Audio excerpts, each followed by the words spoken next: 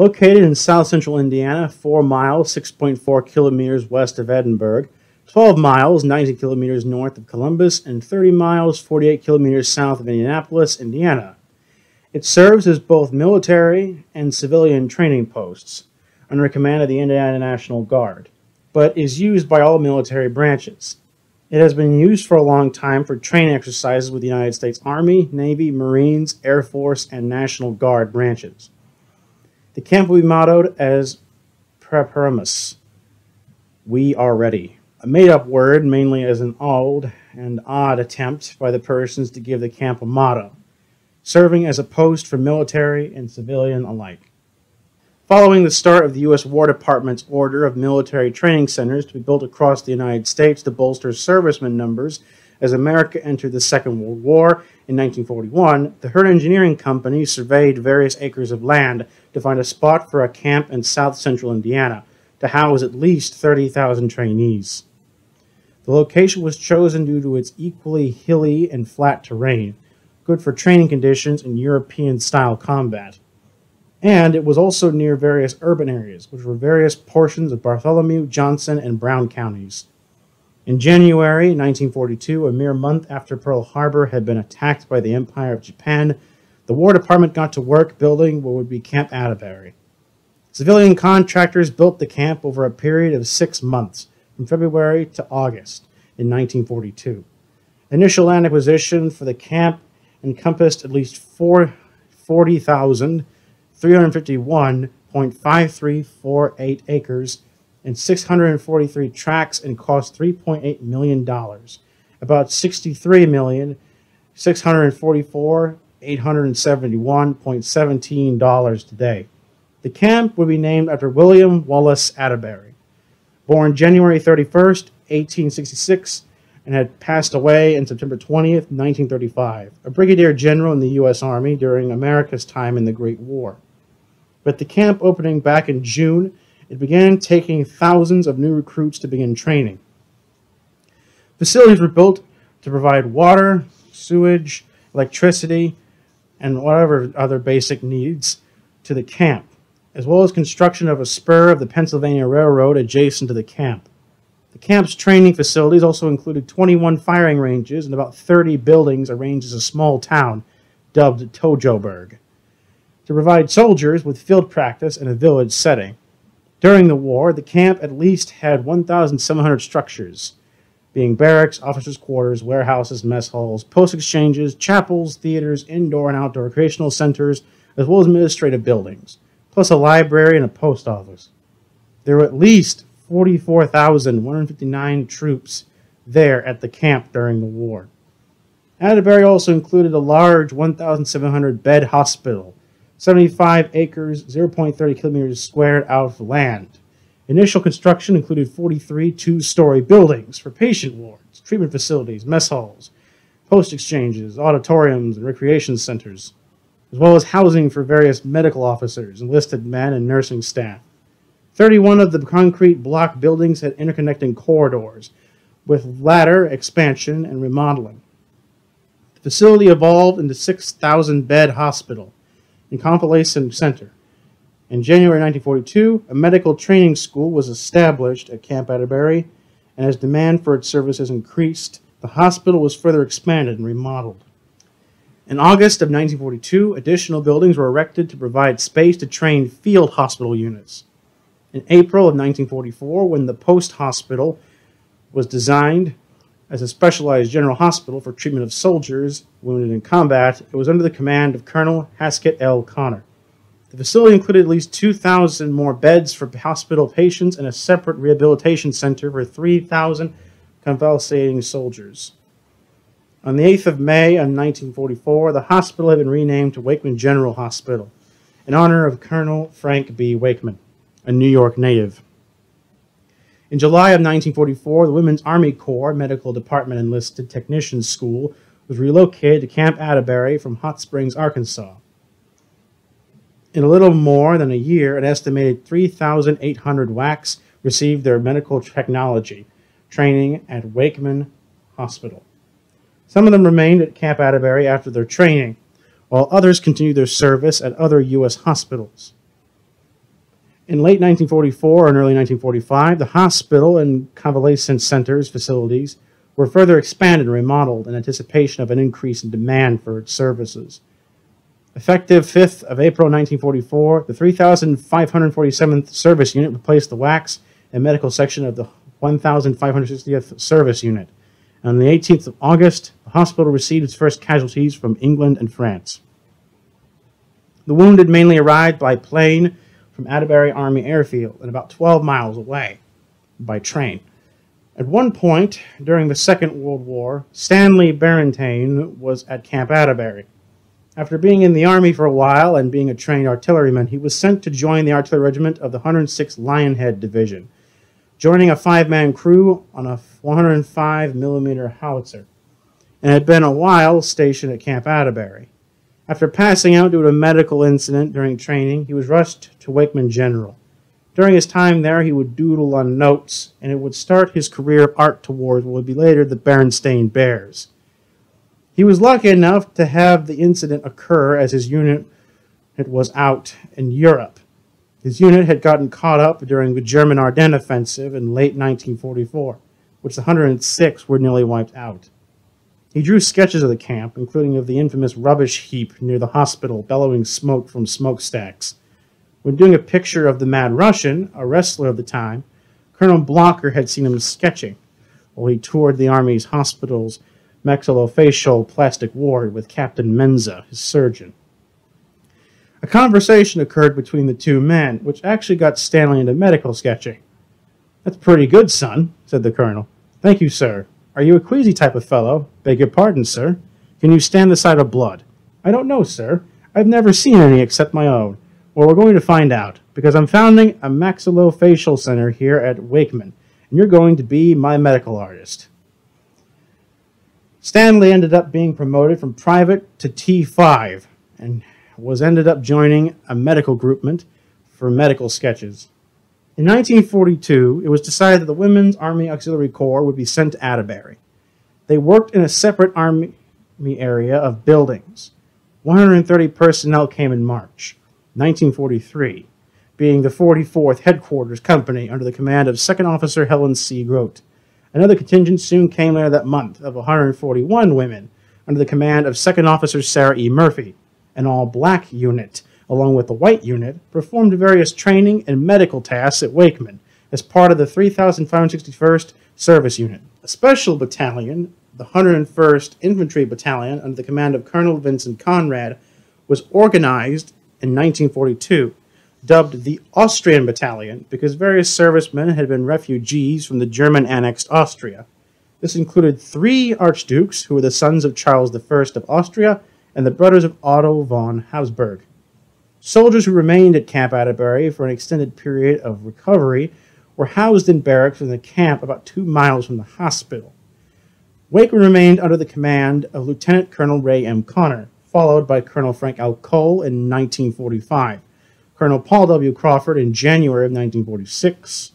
The Convalescent Center was under the command of Colonel Harry F. Becker. Wakeman treated an estimated 85,000 patients during the war. It would close at the end of 1946 after its remaining patients were transferred to other hospitals. The WACs were then relocated to San Antonio, Texas. Colonel Welton M. Modisette served as Atterbury's first post commander in May of 1942.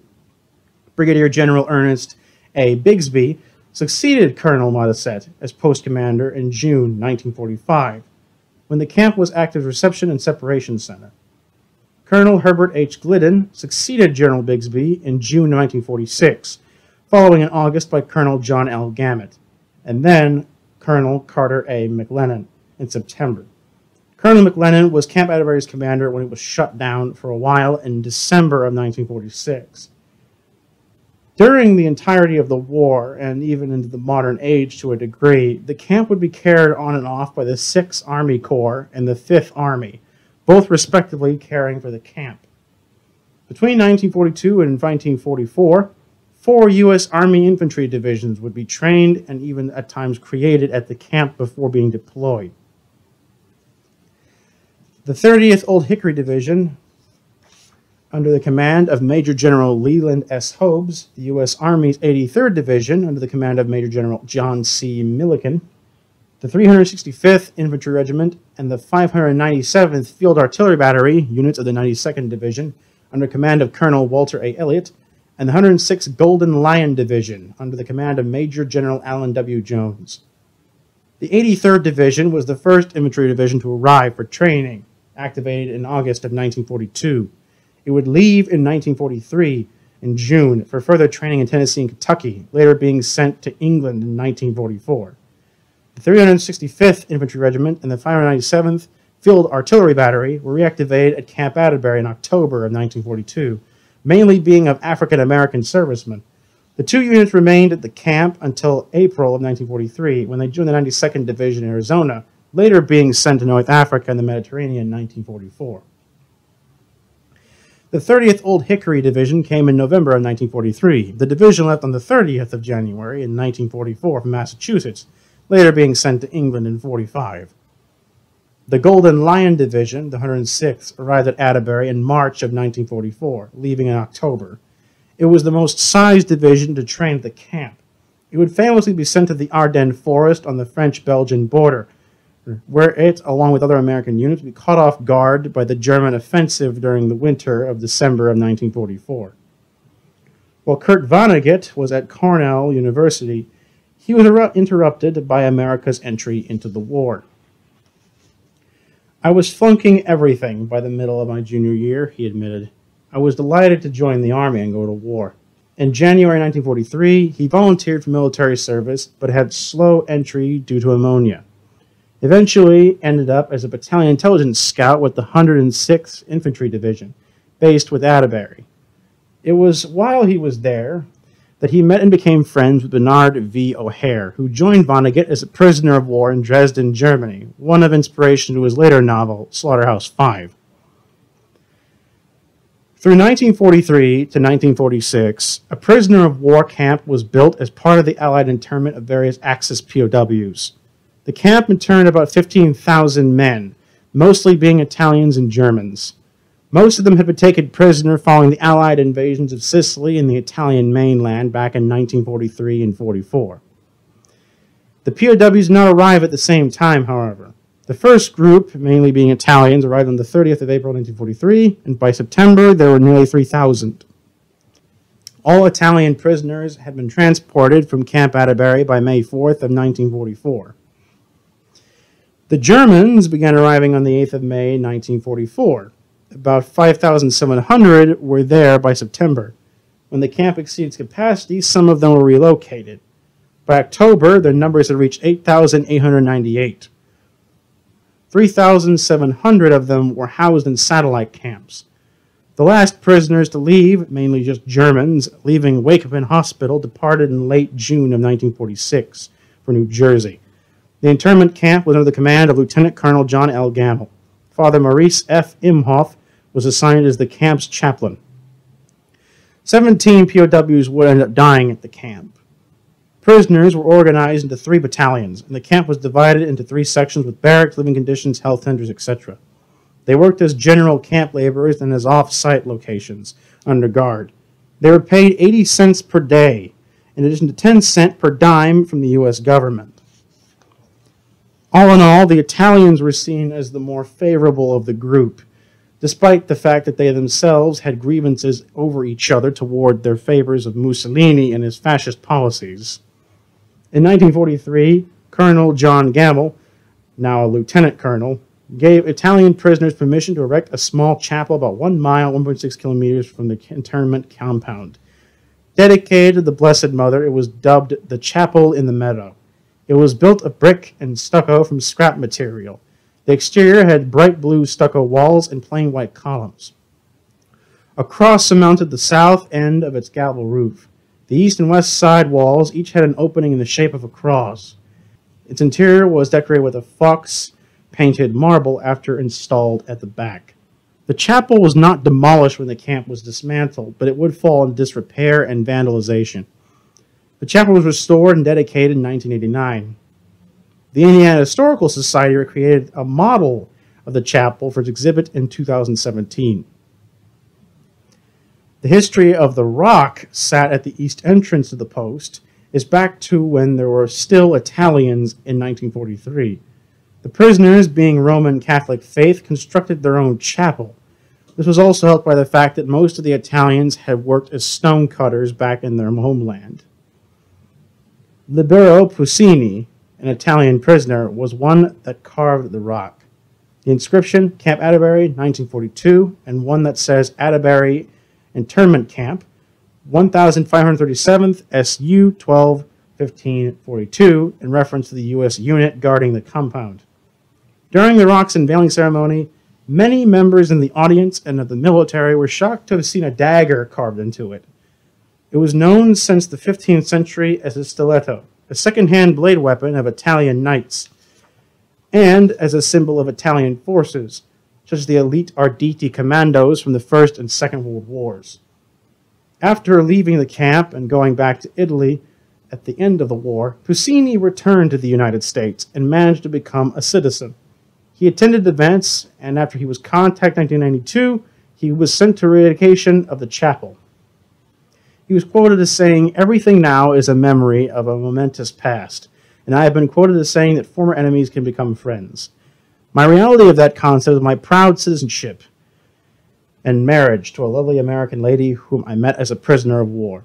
Having resided in the United States for nearly 50 years, I am a proud father of three grown children and six wonderful grandchildren. Coincidentally, one of my sons now serves as a career officer in the United States Armed Forces. The Army would suspend operations at Atterbury in August of 1946. The War Department even made preparations to transfer Wakeman's remaining personnel to other hospitals. The camp wasn't closed, it just sat idle for a long time. It wouldn't train any more units until the 50s when it was reactivated as a military training ground for upcoming American involvement in the Korean War. The 20th Infantry Division had arrived in September of 1950 and left in November of 1951 for the Federal Republic of Germany. In 1951, the 6th Army Corps was also reactivated there. The 31st Dixie Infantry Division also trained at Atterbury. When it departed for Camp Carson, Colorado in 1954, the camp was once again deactivated. Atterbury was stuck like this until the 1960s, when in December of 1968, the U.S. Army ended Atterbury's use. The Indiana National Guard took command in January of 1969, all the way from the 70s to the 90s. The camp took care of the National Guard during the Vietnam War, Operation Desert Storm, and the Gulf War, plus Operation Desert Shield. Originally encompassing about 40,352 acres, the camp was reduced to 30,000 acres. In 1969, the Indiana Department of Natural Resources leased more than 6,000 acres of land for the Atterbury State Fish and Wildlife Area. Future programs, such as the Job Corps and other countless things, plus counties such as Johnson County and the U.S. Department of Labor took over plots of land at random points of time. During the 1980s, various barracks and facility renovations were done to help modernize the camp as it was reaching the 21st century. In 1991, training was once again reactivated for the Gulf War and America's involvement in Operation Desert Storm, Iraqi freedom, and American cooperation in Iraq, along with the transport of the 1,438th Engineer and Transportation Companies to support the supply chain for coalition forces. Finally, after reaching modern times after the 2001 September attacks by Al Qaeda, it was given a kickstart for better National Guard training. The Camp Atterbury Joint Maneuver Training Center was activated in February of 2003.